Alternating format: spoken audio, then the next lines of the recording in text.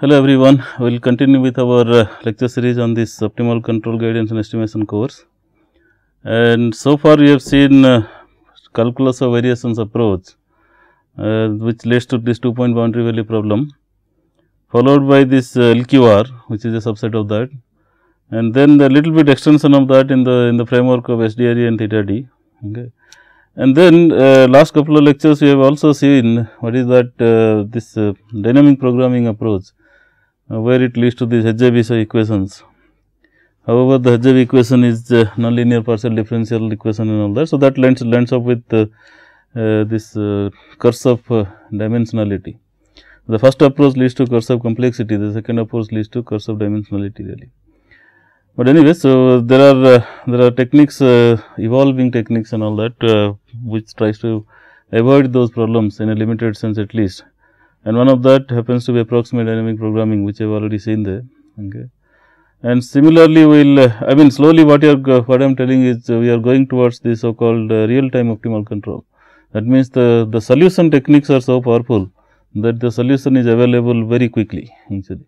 So, that means you can think of using these algorithms uh, really online. So, this one of these uh, technique happens to be this uh, model predictive static programming, which I am going to talk in this lecture as well as next lecture. And we will see some application of uh, this particular uh, technique in the framework of uh, optimal guidance of aerospace vehicles. Okay.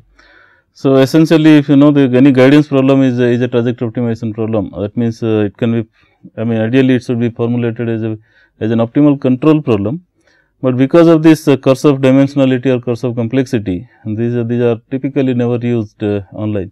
However, as I told there are uh, several methods evolving uh, which tries to kind of overcome that and one of that happens to be this uh, model predictive static programming. So, let us uh, let us see what it is. So, outline of this lecture will be something like this. Uh, uh, first is motivation, why we do that, and uh, then some mathematical details of this this particular design, and then I will take you through a little bit uh, intensive way this uh, re-entry guidance of a reusable launch vehicle using this MPSP technique, and ultimately I will give you some references to follow it up as well. Alright, so let us get going. The first is motivation, and let us see what motivations are there for this particular technique. The very first thing that comes to mind is uh, high computational efficiency. That means, what you are looking for is uh, some sort of uh, real time online solution.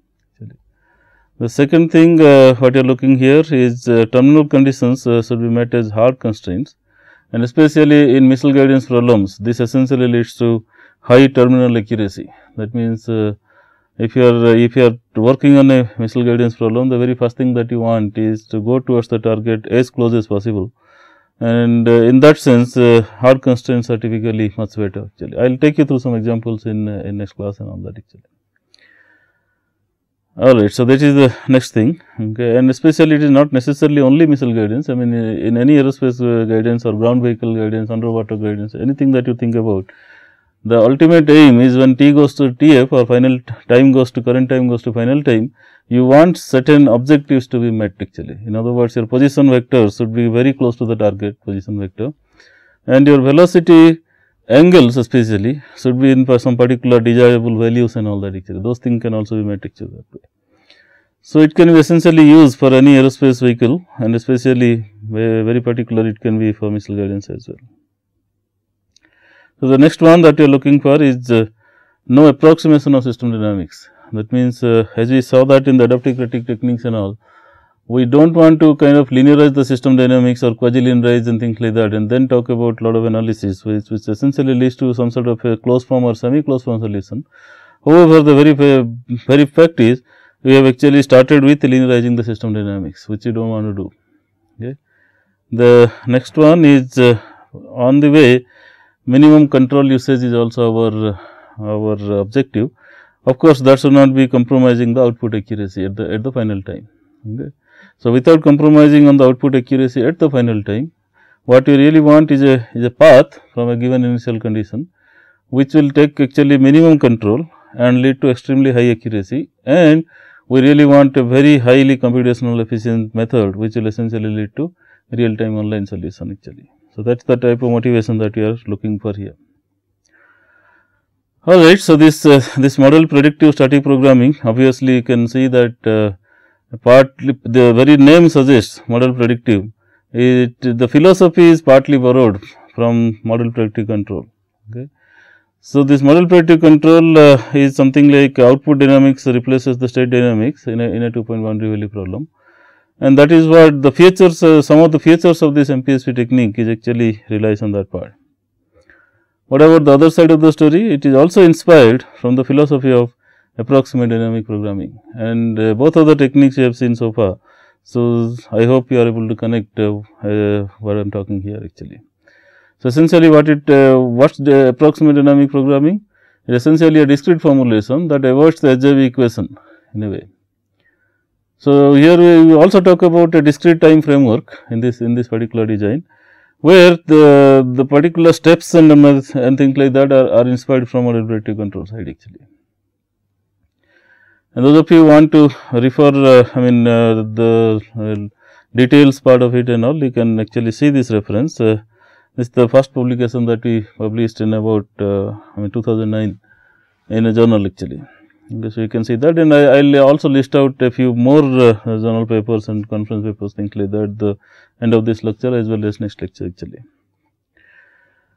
Alright, so let us get on with the mathematical details part of it now. Uh, the we will slowly go through the steps and try to understand what is what is really happening here actually. Okay. The very first thing is uh, you, as I told it is also inspired from discrete system dynamics and all that. So, Oh, for the first thing to do here is we have a system dynamics in this form remember this is a complete nonlinear form and then there is a output which is also a nonlinear function of x actually sorry okay okay so this is uh, this is actually a nonlinear system dynamics and also kind of a nonlinear output and also remember that this uh, this output that I am talking here is actually the desirable output, it is not, really the sensor output actually. Okay. So, both the things are uh, discretized, okay. you typically it is done through this uh, the system dynamics discretization is typically done through this uh, this Euler integration actually. Okay, so, what is the objective? Objective is uh, as we go along that means uh, k varies from actually this uh, if you interpret that in the form of time domain, this is mm, 1 k, k, varies from 1, 2, 3, 4 like that and ultimately you have this uh, this n and just before that is n minus 1 and remember control typically acts up to n minus 1 where state evolves up to time step n actually. So, what you are looking here is uh, at time step uh, n okay, we have this uh, I mean this objective to be met is uh, this y n which is nothing but h of x n okay, should go towards a particular desirable value y n star. Okay. And of course, as I, as I mentioned before with additional some optimal objectives and all we will assume on the way actually. Okay. So, this is the particular problem when you uh, I mean when the star state starts evolving at the final point n okay, you have a okay, okay oh, oh. all right. At the final point n we have this x n and this x n if you evaluate uh, h of x n then you will get y n. And this y n should actually go to certain y n star actually. Okay that's the that's our objective basically. Okay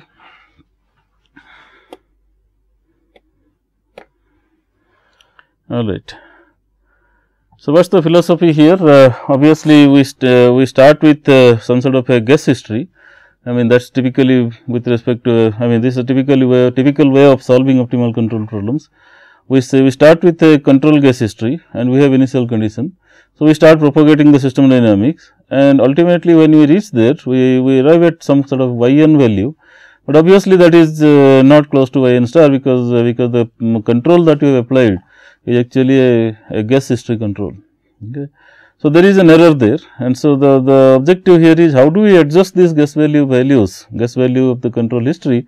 So, that after the update the trajectory will actually lead to that particular x n which we if, uh, using which if you evaluate y n it will be closer to y n star actually.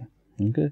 So, that is the objective here. So, so mathematically speaking we can define some sort of a error okay, delta y n okay, this this delta y n is is nothing but y n minus y n star and that should go to 0.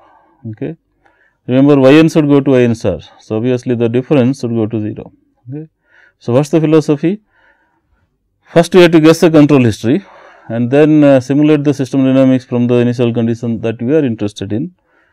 Okay. Then we have to compute the error in the output okay, at the final time and we have to utilize this error information to update the control history optimally. Okay. Then obviously, we have to repeat this iteration until convergence. Okay. And uh, it actually it, uh, it, somebody can see that these the steps if you see it little carefully this is very close to what we have seen in shooting method actually in a way. Okay. Then obviously, uh, somebody can ask what is the beauty here. The whole beauty here is uh, the update happens iterate the control history until convergence.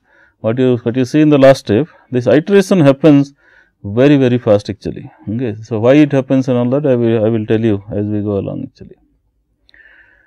Alright, so let us start analyzing this is see as I told we we started with a with a guess history of the control, but uh, that leads to this uh, this error in uh, error in uh, output okay of the I mean the output at final time. So, now we want to analyze this error okay, and tell how much the error we have done in in the control everywhere actually. Remember we have a we have a control here in this uh, time history if you go back you have a control u 1 here, you have u 2 here, you have u 3 here and, and things like that actually okay all the way up to u n minus 1. The thing is these, these values are erroneous. So, we want to update it. So, obviously, we want to update u 1, u 2 everything. Okay. So, that uh, the, the updated control history will take us to the desirable value. Okay. Alright. So, we want to analyze first okay, how much error we made and what is the effect of that error in this delta y n actually okay. how much error we made in the control everywhere all the time steps and how much effect it had in this particular delta y n actually. Okay. So, here we introduce uh, this small error approximation I mean obviously the demands that you start with a reasonably good guess basically it did not be very good, but ultimately it turns out that it is not that sensitive actually you can start with a large error as well, but theoretically speaking it uh, it demands that okay this delta y n is approximated like a d y n actually. So, that is a small y small error approximation and using this smaller approximation okay what you do here is delta y n by dx delta x n into dx n actually okay. That means, uh, this dy n what you see uh, we analyze that where does it come from actually because ultimately remember y is a function of x okay. So, if there is an error in y it has to come through the error in x it cannot escape from that actually Okay. So, we assume that that is what it is okay. And also assume that we are not starting from really I mean this uh, this is actually it can be applied uh, from any time. So, what we are telling here is uh, our uh, okay let me uh, okay we start with uh, not really 1 every time suppose we are we are operating a time point I mean time step 3 then that becomes our initial time that means we start operating from any any k actually really Okay. So, that is what we are doing here. So, we want to analyze backwards up to time step k basically. But anyway, so coming back uh, this this was an error delta y n. Okay. So, this is this uh, small error approximation d y n and this calculus simply tells us that this d y n has to happen because of d x n and this is the relationship actually. Okay. Now, the question here is uh, what is this d x n? Okay you have this uh, this time step uh, n and then there is n minus 1 actually. Okay. There was a problem in x n. Okay. However, this x n if you if you see the system uh, dynamics uh, system dynamics tells us that x k plus 1 is a function of f k x k u k basically. Okay. So, obviously, the if there is a there is an error in x n then the, there is some error in x n minus 1 and u n minus 1 actually. So, that means x n minus 1 and n minus 1 okay. Well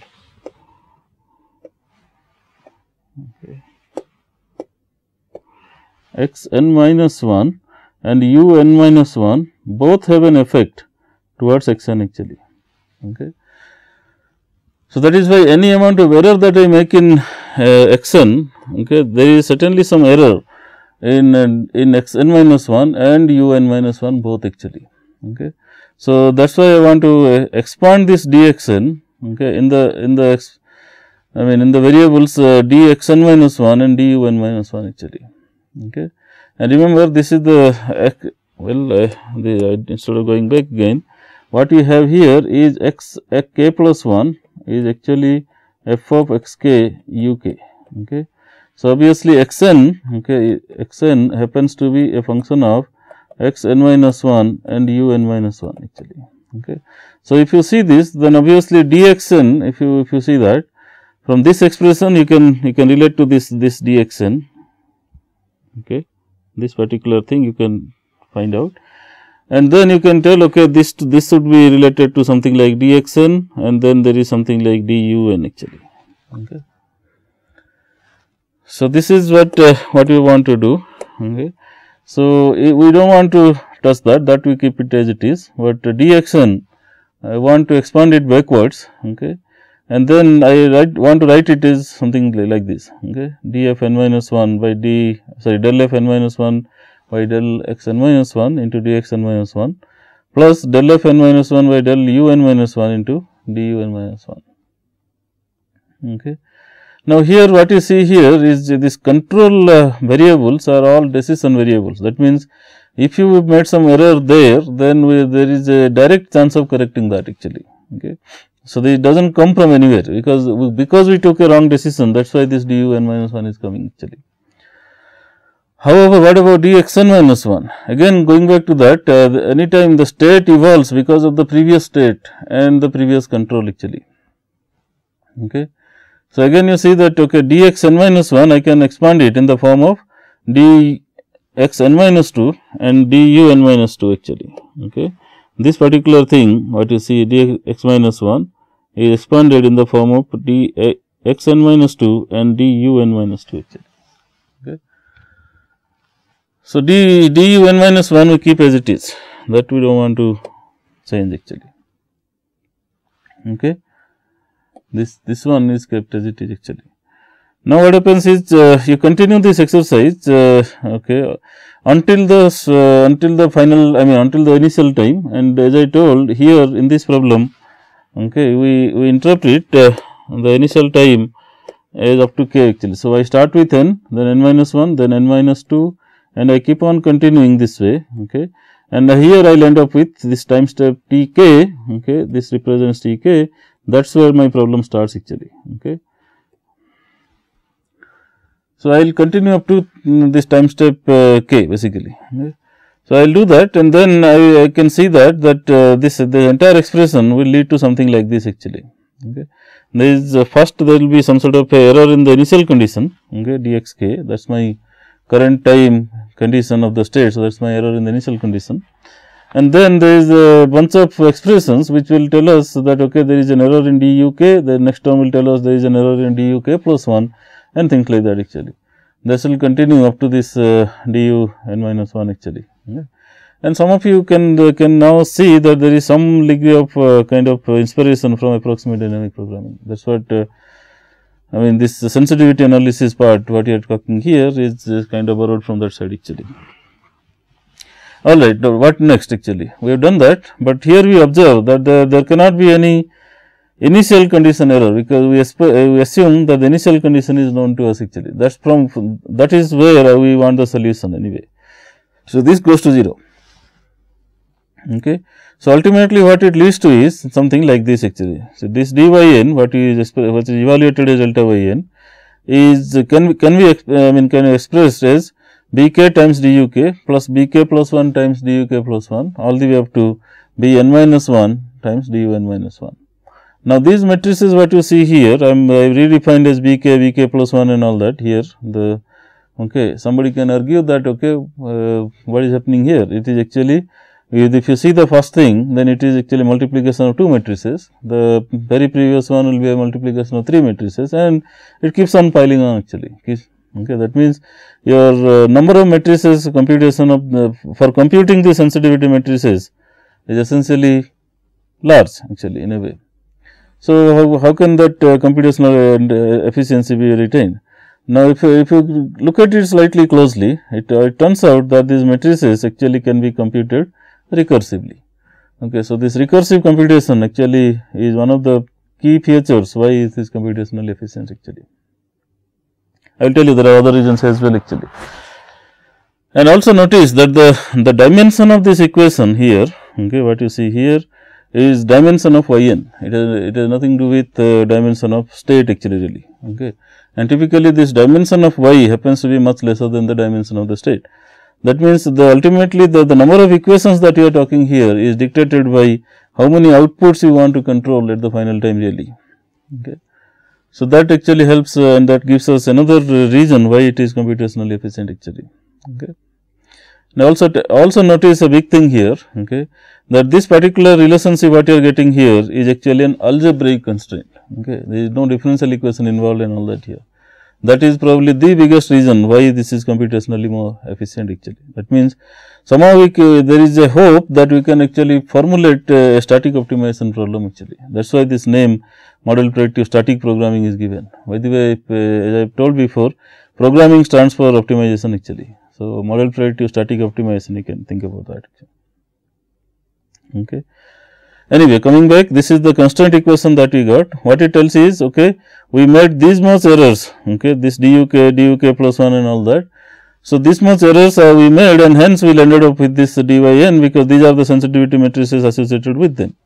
bk is a sensitivity of uh, duk, okay, with respect to dyn like that actually. Okay. Alright, so this is what it is and we will see how these matrices can be computed recursively. Uh, this is the relationship uh, that you can see about. If you talk about any b k tilde, okay, this uh, k tilde is actually a dynamic variable like this, then any b k tilde can be expressed like this. Okay. So, if you observe little closely, first first we can probably define this b n minus 1 0 as something like the coefficient that multiplies everywhere. Okay. And then we, we operate on this this kind of iteration actually b k 0 is b k min I mean b k tilde is b k tilde plus 1 that is essentially it is a backward recursion actually. So, this one multiply by that actually okay whatever additional term you are getting here will multiply with that actually. Okay.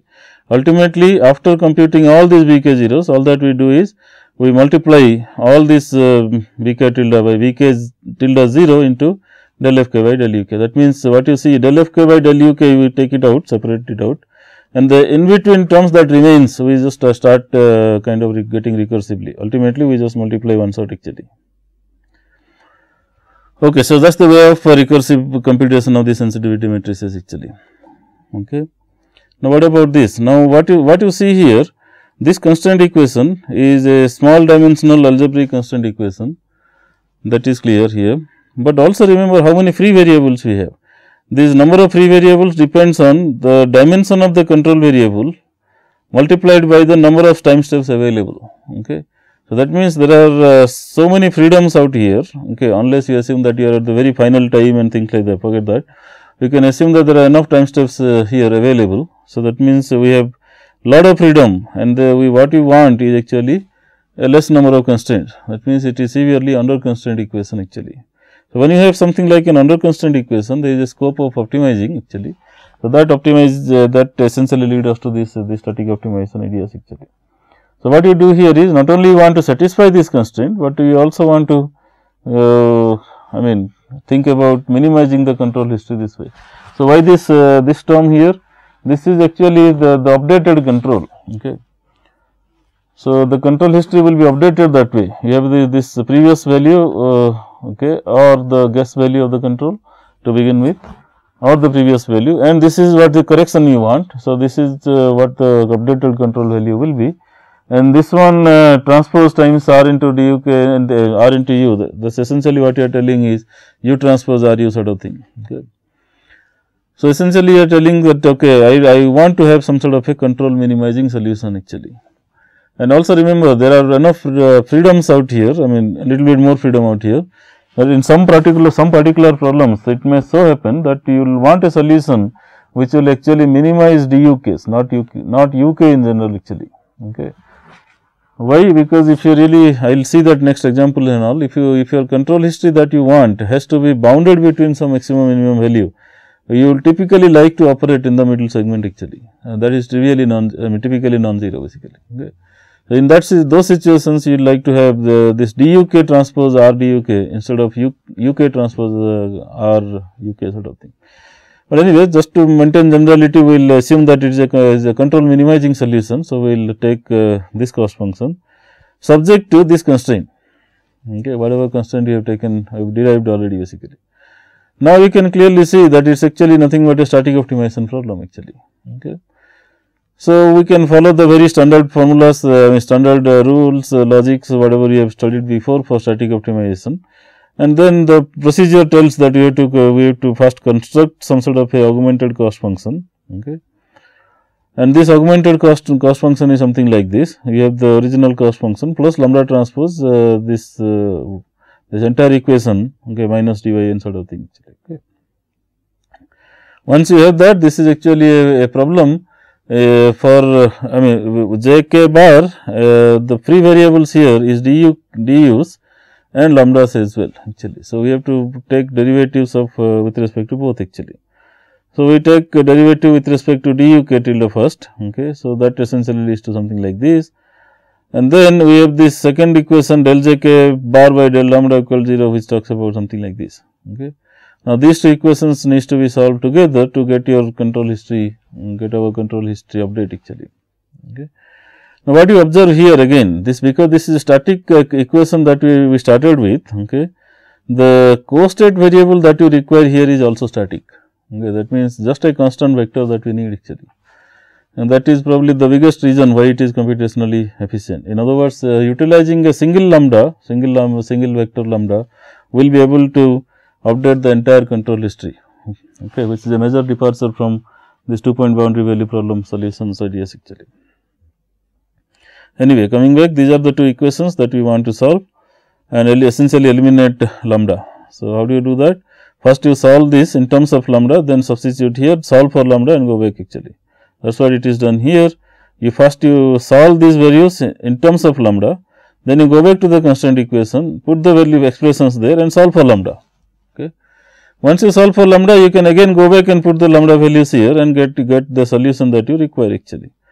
So, essentially it will tell us that lambda can be solved something like this, where a lambda okay, is defined like this and b lambda defined like that. Once lambda is known, our DUK histories are all known actually. Okay.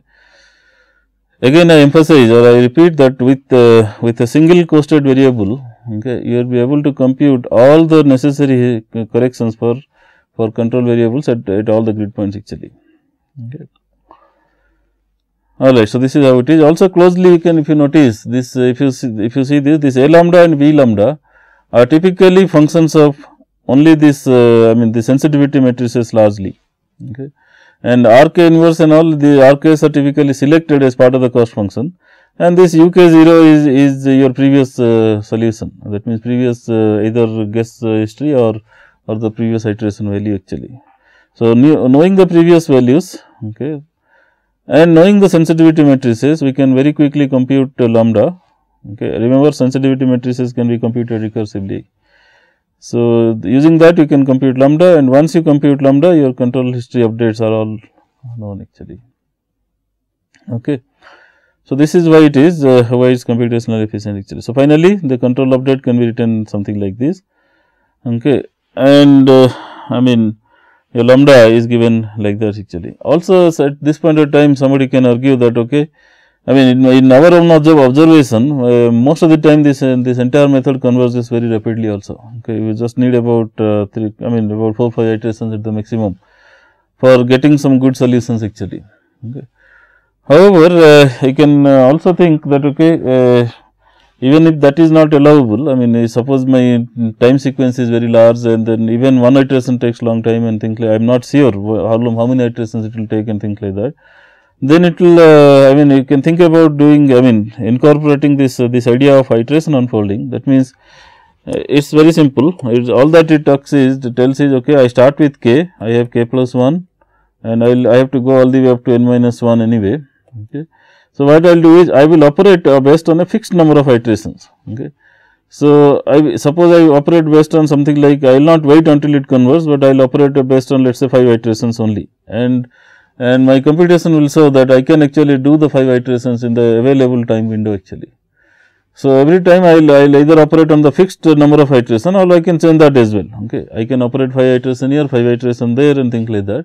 Or as you remember, as you note that you, when you go closer and closer, okay, your time time available becomes shorter and shorter. That means, number of time time grids actually. Okay. So, number of uh, time grids become smaller and smaller here. Okay. So, then you can think of okay, wait I can actually do more number of iterations necessary, I can probably do 8 iterations there actually. But these number 5, 8 and all that will be priori fixed depending on your problem actually and depending on the computational power and, and real time algorithm that you use and things like that actually. So, nobody forbids from doing that, but however, my observation, my comment here is um, in, in many of the problems that we have solved, it actually takes about 4 5 iterations only to converge anyway. So, the entire algorithm can be can be represented like this. Uh, it's very close to a so kind of shooting method if you think about. Uh, you start with some sort of a guess control history, propagate the system dynamics, compute the output, check for convergence and largely when I talk about convergence, I talk about output convergence whether yn has gone to yn star actually. And also remember when yn goes to yn star or at the same time it turns out that uh, j also goes to some sort of j also I mean the cost function also tries you know, kind of goes towards convergence actually. Okay. Anyway, so this uh, check for convergence, if it is it is converse, uh, they take the converse solution and stop actually. And if it does not, then uh, you just go there and then and then update the compute the sensitivity matrices recursively and then update the control history and go. Now, also remember a small comment out here that is for uh, control to adjust, it all depends on this dyn actually. Okay because this algorithm if you see the convergence check that you are doing here is dyn whether it has gone, gone to 0 or not. Now, now remember these are nonlinear problems that you may have multiple solutions and things like that. That means, uh, if your guess happens to be good, okay, even though the trajectory need not be optimal from cost function point of view, you may actually get eluded that uh, yn has gone to yn star and hence my solution is optimal actually.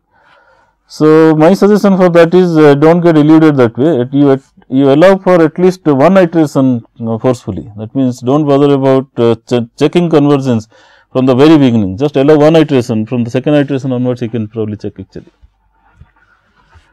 Okay, so, that is uh, what it is actually. All right. So, I have all told uh, everything on the way, but let me summarize uh, the reasons for uh, computational efficiency, why it is computationally efficient. The very first thing is I told uh, the costate variable becomes static that means, uh, only one time independent that means constant costate vector is needed for the entire control history update basically. That is the primarily the, the major reason why it is computationally quite efficient. And then dimension of the costate vector is same as the dimension of the output vector, okay, which is typically much lesser than the number of states actually. Okay. Essentially, if this is lesser, then the dimension of the, the lambda also becomes lesser actually. It is directly, I mean, it is same as the output vector dimension actually and the costate vector is, is computed uh, symbolically. Okay, costate vector, uh, well, it's theoretically speaking, it is costate, uh, okay, costate vector at every iteration is computed symbolically and then it leads to some sort of a closed form control history update actually. Okay, this, it does not lead to closed form control per se, closed form control history, but it leads to this closed form control history update. Okay, DUs you are able to kind of compute very fast actually. All right, the computation uh, okay, involves largely the sensitivity matrices which are also computed recursively. That is another reason why it is computationally efficient. And if necessary, as I told, concepts like iteration unfolding can, can be incorporated to save computational time even further actually. Okay, so, these are the I mean last issue is, uh, is primarily an mechanization issue, but all other things the first uh, 5 issues, uh, 5 points are actually the algorithmic centric actually. This happens because of the algorithm really. Okay. And there are important extensions also we have proposed and I will uh, probably take you through some of these uh, and then extensions is uh, first thing is there is a variation of this which talks about uh, something called model predictive spread control. Okay. This is a kind of a version with control parameterization. That means, uh, you, you parameterize the control variable, okay, let me talk about that uh, a little bit philosophically. Suppose u contains something like u1 and u2. So, what you do is uh, ui, you let us say you parameterize like a constant vector or something like a i t i or t go sort of thing initial guidance will do that. So, a i t plus something like b i. That means, with respect to time, what I am looking for is something like a straight, okay, sorry for that. What, what I am looking for is with respect to time, I am looking for something like a straight line equation actually. Or you can think of bi 0, then uh, this, uh, this straight line passes through the origin or probably you can think of uh, ai 0, then it is just a constant thing and all that. Okay, so, but the constant itself is updated in a, in a systematic manner using this philosophy and all that. So, that is uh, model predictive spread control. So, what it does it further improves the computational time because instead of entire control history grid point by grid point, what you are doing here is updating the coefficients only. Okay, grid points are automatically taken care because of the polynomial fitting that we already have. So, essentially it further improves the computational time and also it smoothes the control history by enforcement. So, remember the other one may or may not happen because every grid point it is treated as some sort of independent uh, control value basically. So, smoothness may happen and it does happen in most of the cases, but theoretical guarantee comes uh, when you have something like a polynomial fitting. So, no matter whatever ai and vi you take this is essentially some sort of a okay okay okay the what you what you see here is this is ui okay and this is t okay so, this is guaranteed to be smooth actually. Okay. So, that is uh, this part of it. Uh, we will we'll see that uh, I mean probably one or two classes down the line actually. Okay.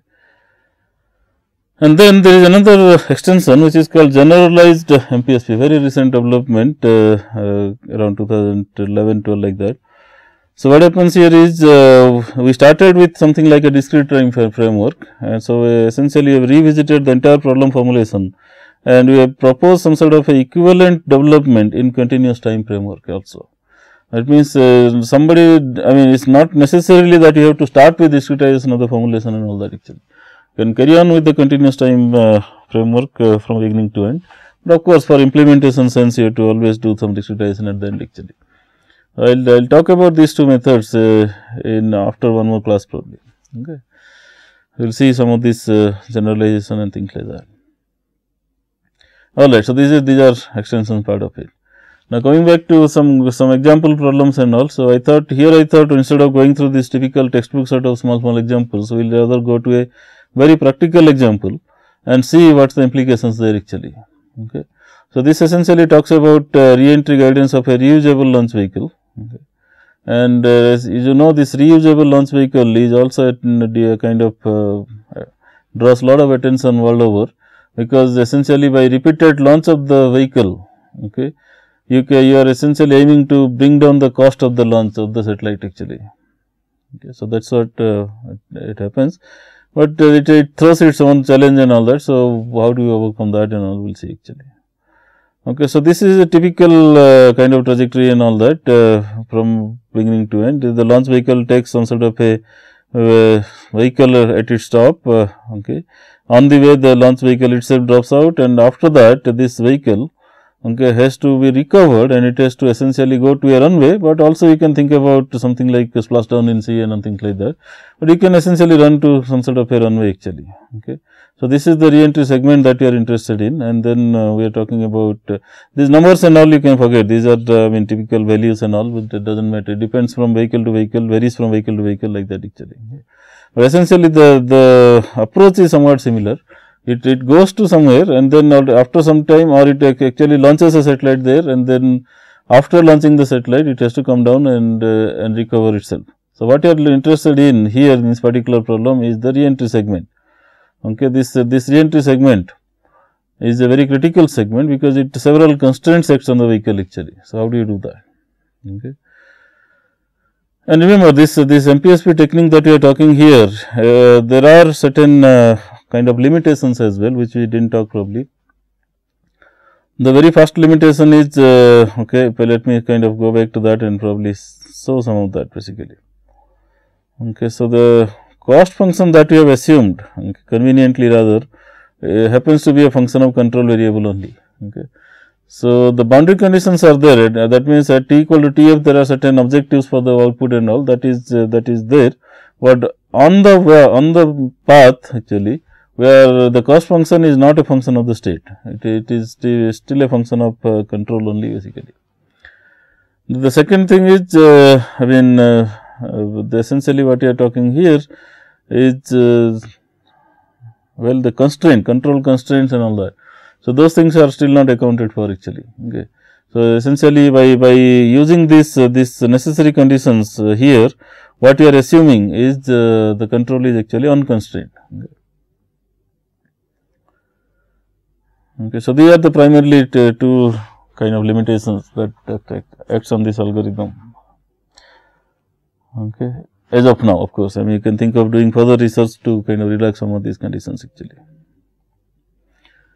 Anyway, so this is what it is and this is a re-entry segment and we are interested in something like a, the idea here is to de develop advanced nonlinear optimal uh, nonlinear and optimal guidance for an RLV okay, in the descent phase with special emphasis on critical re-entry segment actually.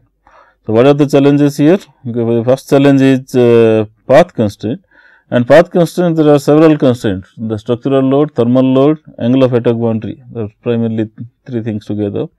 And then there is this uh, and remember this angle of attack plays a very critical role because it essentially gives two things. One is controllability of the vehicle and also very strongly coupled to the structural load actually. Structural load is a direct function of angle of attack really actually. Okay. So, this has to be kind of uh, handled very carefully actually. Okay. So, there is a path constraint which essentially talks about structural load, thermal load, angle of attack boundary like that. And there is also a terminal constraint that ultimately uh, at the end of the re-entry we want to go to some position and then in specific velocity vector sense also basically. Okay. So, that means the velocity magnitude as well as its direction needs to be in specific direction. So, that uh, ultimately we can recover the vehicle and land the vehicle actually somewhere. Remember uh, this RLV does not have any thrust that means you get only one chance to land actually. Okay. Uh, you cannot keep on moving uh, around an airport and try to find out and things like that. It, it, just gets one chance and then with that one chance we have to get it back actually. Okay. And then we also aim to generate some sort of optimal trajectory and then obviously it has to have robustness with respect to uncertainties parameters. What we mean in parameters essentially inertia and aerodynamic parameters and typically they are not very accurate they will have some some 20 30 percent inaccuracy in aerodynamic parameter and some about 5 10 percent inaccuracy in, in inertia parameters like moment of inertia mass and all that actually. So, the, the algorithm has to be robust to that actually. Okay. Then there is this real time computability issue and obviously there is another issue of smoothness in the guidance command generation also. Why do you need smoothness? Because ultimately what you generate, what you interpret as control variable in guidance loop happens to be nothing but the output I mean reference command input to the inner loop okay, where it needs to be tracked perfectly actually tracked as close as possible. So, that is where having a smoothness smooth history in the guidance command actually helps there basically. So, these are the things that you are looking for here. Okay, now, when you go back uh, to this uh, dynamics, uh, it, I have taken this dynamics from this reference. Uh, essentially, I think this uh, book is available probably free to free download or something these days. I have seen uh, soft copies actually, but anyway, so uh, otherwise you can think of uh, locating in some library and all that actually. Okay. So, anyway, so the this is obvious. These three equations are essentially the radius from center of earth and then there is this uh, in this uh, um, latitude and longitude actually. Okay. So, essentially talks about uh, spherical earth and rotating earth as well actually. It talks about everything spherical rotating earth. If you assume that you talk about spherical trigonometry and all that that way. And the coordinates uh, position coordinate that is defined is in terms of uh, r, phi and theta okay, uh, altitude essentially and this uh, I mean this uh, latitude and longitude actually. But this is kinematic component. What about dynamic component? Dynamic equations will contain V, gamma and psi which V is the velocity velocity magnitude and gamma and psi are essentially the flight path angle and heading angle actually. So, this, if you see that this equation has already become quite kind of a messy actually. Okay. So, first uh, first thing what it is uh, formulated only with pitch plane maneuvers that means we thought okay bank angle can be suppressed in other words bank angle all that it assures is just uh, moving the vehicle in the one single direction without changing the direction of the velocity vector sideways actually. Okay, it just goes up and down vertical sort of thing. And also we neglected this earth rotation part of it actually. Okay. Well, okay, it's a short duration mission. If it happens, the earth rotation doesn't matter that much. So what happens there actually? Okay, so okay, with that results, uh, these are these are the something some re-entry conditions that you constraints that you think about. There are some of the values that we we applied to the kind of problem and then we thought okay uh, what about getting the solution out of it actually okay. So, then uh, I told this uh, okay this is a formulation in terms of uh, really what is called as uh, specific energy and specific energy is nothing but this kinetic E is something like uh, kinetic energy mgh plus half mv square divided by mg okay per unit weight actually. So, essentially it h plus v square by 2g sort of thing actually. Okay. So, this is uh, if you if you know E and then uh, if you know V the H is given actually that way. So, this these three are linear dependent now basically. So, we talk about V and gamma essentially and then control vector is alpha and the output vector happens to be Z sort of thing actually whatever is uh, there. Anyway, so this is the formulation that we that we followed and also remember this is angle of attack is bounded between these two. So, we wanted a middle value as close to that as possible. So, with the cost function assumed was something like deviation minimization actually. So, part of that this this part does deviation minimization this part kind of assures uh, normal load factor should be minimum okay and this essentially kind of guarantees uh, smoothness actually in a way okay. So, what you did here is if you see this result uh, this is uh, some sort of a, another method solution actually what you what you have in blue line here take that as initial guess actually okay and then run it through this algorithm and then uh, found out that okay this uh, this problem can equivalently be solved using this trajectory rather what you see here in, in this colorful red line sort of thing. Okay. What is beauty here? This this uh, this line compared to the blue one, this one is not only smoother, okay, which is much more smoother actually, and it also happens to be lying somewhere in the middle part, okay. Whereas this blue line is actually touching to the upper side right here, which is not allowable actually, okay. Anyway, so coming to the uh, the perturbation study and things like that, we have done some uh, okay some some sort of perturbation study using this uh, randomly varying coefficients and all that and essentially you done some 480 simulations and all that and uh, some different different middle points, initial points and things like that. Essentially you can see that the, the normal load sense it is slightly getting violated here, its uh, value is 3 g, but is getting around 3.2 g sort of thing. But the number of cases that got violated is also small actually. Okay. So, if you, in other words, if the structural limit becomes 3.2 g instead of 3, 3 g, then it is within that but even otherwise the, the number of failures are very small actually okay. and every time it happened to be in the middle of the uh, boundaries basically for the alpha. Okay. They also remember the bound values themselves are function of Mach number. So, they are not fixed uh, numbers actually with respect to time. The Mach number is you know is, is velocity vehicle velocity by sound velocity is a dynamic variable. So, the bound itself bound values itself change uh, depending on the situation actually. So, that is why the you can see bunch of uh, bounds values here actually. Alright and ultimately you see these these points are meeting at the desired point this altitude was desired to be something like 20 kilometers. So, so, it is all happening at the end and velocity also desired value is meeting you can see there is a flat line sort of thing. So, no matter what happens on the way the, the boundary conditions are enforced as, as hard constraint that is the reason why it happens this way actually. Now, what about uh, the, the, next formulation which talks about uh, both pitch plane and yaw plane maneuvers actually that means uh, alpha angle of attack alpha as well as uh, bank angle both are control variables. Then what actually? Okay. Remember this part uh, this part of the problem formulation okay? We did not bother much for the for the position coordinates actually. Whatever position coordinates happens happens ultimately our path constraints and all has to be met and ultimately I want some sort of a position coordinate in terms of height and I mean height only rather in a way. The latitude longitude was kind of uh, ignored basically there. But anyway coming to this one because we have bank angle maneuvers as well. So, we can think about doing that also. So, instead of E and gamma which essentially talks about H as well because entire formulation is based on E. So, instead of V gamma H uh, uh only what we talk here is phi theta also basically. Okay. So, that is what we are interested in here and then all other things remain same actually. Okay. So, these are the terminal coordinates what I am talking about here.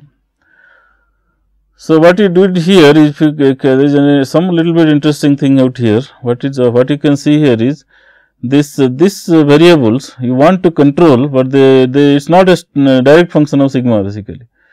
So, if you if you consider sigma as a control variable then you have a problem here of a problem of controllability starts coming and all that. So, what we thought is okay we will consider psi as, a, as some sort of artificial control variable here and once we get a psi trajectory then we can think about going to psi dot equation and compute sigma because psi dot is a strong function of sigma here you can compute uh, I mean once you have a psi trajectory go to this equation and compute sigma based on dynamic inversion actually.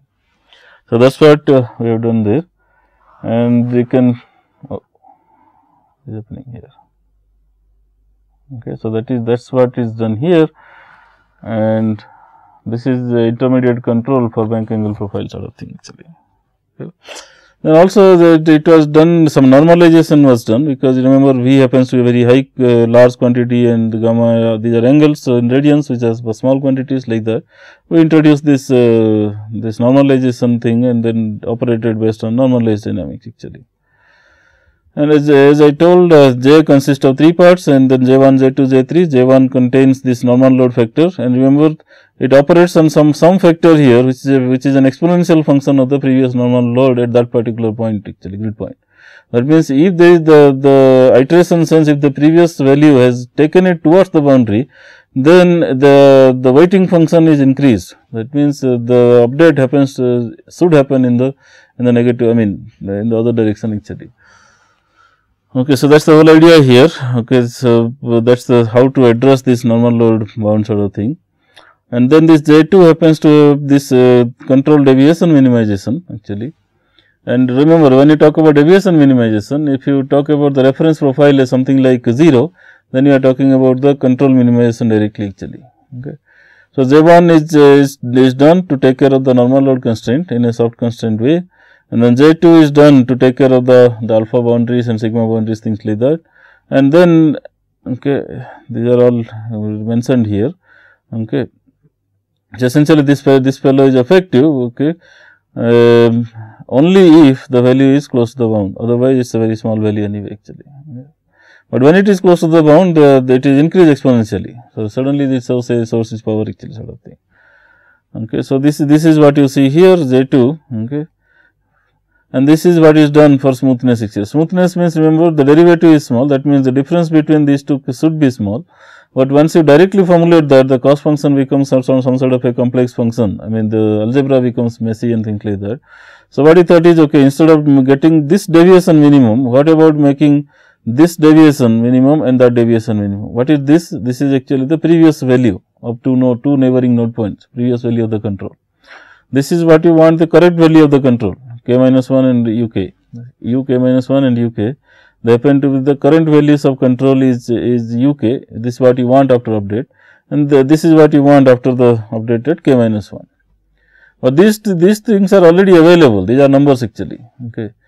But if you want to play around directly then the cost function becomes uh, a kind of an involved I mean kind of an uh, involved function. So, the algebra is messy. What you thought is okay we can uh, we can get away from that by just having this innovative formulation where you talk about okay this this minimize the difference between uk and uk minus 1 whatever it is it can be minimized by minimizing the difference between uk and ukp so the previous value of the control at the same grid point as well as the difference between uk and uk minus 1 p. So if i if i minimize this and minimize that and obviously this has to be this will this will be minimized actually in a way. So that's the philosophy we followed here okay? And telling that okay uh, I mean this this is anyway taken care because we want devi deviation minimization here okay. When you do that that is already taken care.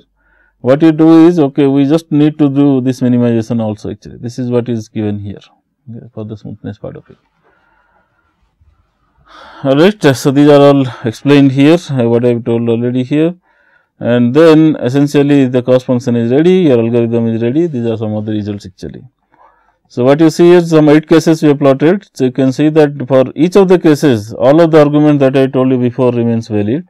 And ultimately every all of the cases different different color coding and line coding you can see. And remember if you are concentrating on that particular line here for the control segment control history then you should also concentrate on that particular line for the maximum bound and minimum bound. Okay, because everything happens to be time varying sort of thing actually okay. essentially if you concentrate this line then your I mean this is the upper bound and that's the lower bound the control is like that way what the solution what you got actually like that. So, essentially you can observe that uh, all the alpha solutions angle of attack solutions happens to be smooth as well as they happens to be somewhat at the middle of the both the middle of both the bounds actually. Now, what happens uh, in the sigma part of it uh, the bank angle it uh, we took some plus or minus 30 degree and it, in fact it can be taken much more than um, 30 degree because in case it is in a kind of an unmanned uh, mission basically. If you if you do not have uh, human sitting there, probably the vehicle can turn little more. I mean, can roll roll little more actually. So anyway, so coming back, we put some 30 degree plus or minus 30 degree bounds for our particular experiment. So we started with different different initial conditions and all. Ultimately, you can see that uh, finally, uh, I mean it is taking there, but also remember the final bank angle what you are looking for is happening to be 0 actually, which is also neat because ultimately at the end of the reentry you want to be some sort of a 0 sigma attitude sort of thing actually. Okay. So, these are some of the some of the comments that I already told these are all smooth profiles and trim bounds are not violated here and, and you can also see that the final conditions here are met in a very tight condition sense you can see no matter whatever is the initial condition ultimately they end up at the same value that is why the, the final boundary condition is enforced as some sort of a hard constraint actually. Okay. So, these are the powerful things that you talk about when you use uh, this optimal control based methods and approaches all that actually. And you can also plot these uh, these other th different things uh, this normal load and this uh, kind of dynamic pressure uh, values and all that actually. You can see that uh, the all these I mean this is strictly below 3 g and then this is I mean this constraint is uh, is met. Okay. And then you can see this this heat flux is also met actually. Okay dynamic pressure this is the value for dynamic i mean this is the dynamic pressure okay it has to the bound is about 25 kilopascal but uh, what you are getting here is 14 15 kilopascal actually okay heat flux is actually 60 watt per centimeter square but what you are getting is way below basically that again depends on the mission and all that actually. So, if you go to higher and higher altitude and then try to come back, your energy will be high and hence other things will come up actually. This particular experiment that you have done, they turns out that heat flux is not a major constraint actually. Okay. So, in conclusion for this lecture, what it turns out that MPSP technique is, is a very promising technique for optimal missile guidance in in particular, but trajectory optimization uh, in general. So, what it does is uh, uh, trajectory optimization philosophy is brought into the guidance design that's that's more important actually okay so it can be used in missile guidance it can be used in any uav guidance for example any autonomous uh, guidance problem autonomous vehicle guidance problem that you talk about uh, and you formulate it based on uh, this particular formulation if it is amenable to. Okay then you can think about using this and it will essentially lead to this uh, this optimal trajectories and optimal guidance all that. Various challenging uh, I mean we have solved various uh, challenging strategic and tactical missile guidance problems. Uh, that I will take it through take you through in the next class next lecture actually some of these problems. Okay and st still being solved actually many things uh, you can think about uh, posing the problem in a in a good way then try to extract the benefit of this this method actually. It has also been successfully demonstrated for re-entry guidance of reusable launch vehicle that I have just taken you through and then there are some uh, some extensions like uh, like MPSC and all that with uh, with control parameterization. There are additional desirable characters characters like smoothness and things like compute faster computation and all that actually.